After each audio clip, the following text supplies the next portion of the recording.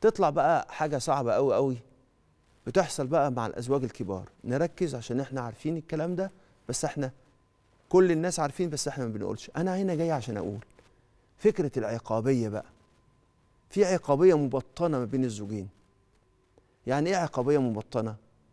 يعني هو يعطي الفلوس أقل من الفلوس اللي ان هي محتاجينها عشان تفضل هي محتاجاه. فهو يعطي أقل من ناحية المال وهي تعطي أقل من ناحية العواطف. وممكن يصل الكلام ده إن هم يفترقوا في الإيه؟ يفترقوا عن بعض في البيت. يبقى فكرة العقابية في عقابية مبطنة بين الاثنين وأحد أشكالها إن هو إيه اللي حاصل؟ يعطي إحساس ويعطي فلوس أقل وهي تعمل نفس الحكاية. وده طبعا في شكل من أشكال العقاب وإن كنا مش فاهمينه. مش فاهمينه ليه؟ لأن هو في عدوان بس عدوان عدوان خفي. والعدوان ده ممكن يصل في بعض الأحيان إلى العنف الجسدي في بعض الأحيان لما يحصل إن الناس ما تبقاش فاهمة. فأنا أعطي أكثر مما يعطيه الطرف الآخر ولا اعطي له على قده؟ لا أنا اعطي له على قده.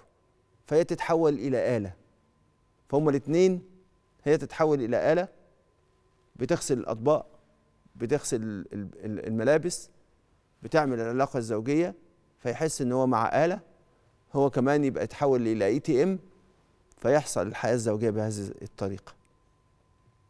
والزوجة هي بتشوف الحاجات دي وساعات بقى لما يزيد الأمر ده تحس إن الزوجة بالضياع لدرجة إن الزوجة ممكن تقول إنه أحيانا بيكون طيب وهو ده فعلا موجود لكنه بيتضايق بس شوية بس دي فضل يستمر يستمر. لغاية ما هو حس إن المسألة خرجت عن السيطرة. فيبتدي يعمل إيه؟ يمارس العقاب معها فيبدأ يعاقب وهي ترد العقاب بالعقاب لدرجة إن في حاجة اسمها العقاب بالصمت. عارف العقاب بالصمت ده؟ يجي الزوج يقول لها أنت ما بتتكلميش ليه؟ تقول له ما فيش حاجة نتكلم عنها.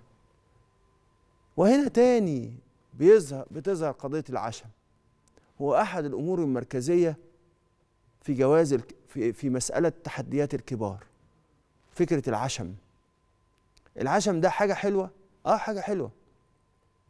بس إزاي العشم ده ما يتحولش إلى إيه؟ ما يتحولش إلى توقعات غير حقيقية.